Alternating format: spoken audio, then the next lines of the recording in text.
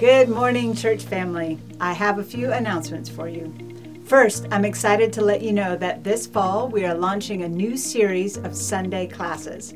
All adults are welcome across the street at 6 and Clay from 8:30 to 9:30 in the morning, starting on the 29th.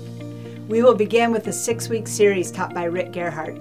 For those of you who've been around Antioch for a while, you know that Rick is infamous for dropping statements like, "We all know that the flood wasn't global." If you've struggled with some of the historical beliefs common among Christians, this is your chance to talk it out with Rick. Over the course of six weeks, Rick will lead discussions about the flood, the end days, biblical genealogy, creation, and the redemption of all things. Rick is a great teacher, and I highly recommend taking advantage of this opportunity to wrestle through some of those big topics. Second, I have an invitation to all the women of Antioch.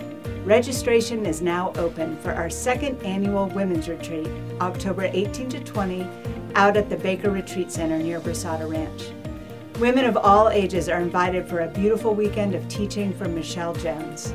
Michelle will walk us through the topic of being known, knowing God, knowing ourselves, knowing others. Join us as we spend time learning, praying, arts and crafting, eating, and just hanging out as a community. You can find out more info and register on our website, antiochchurch.org.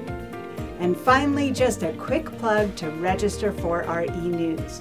Our weekly e news is the platform that I use frequently to let you know about happenings in our community, updates from our ministry partners, as well as upcoming events such as Gospel and Culture Forums.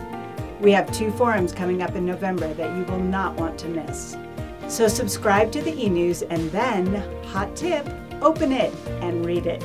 You can subscribe through our website or just write e news on your connection card and we'll get you hooked up. That's all for now. Thanks for listening, family.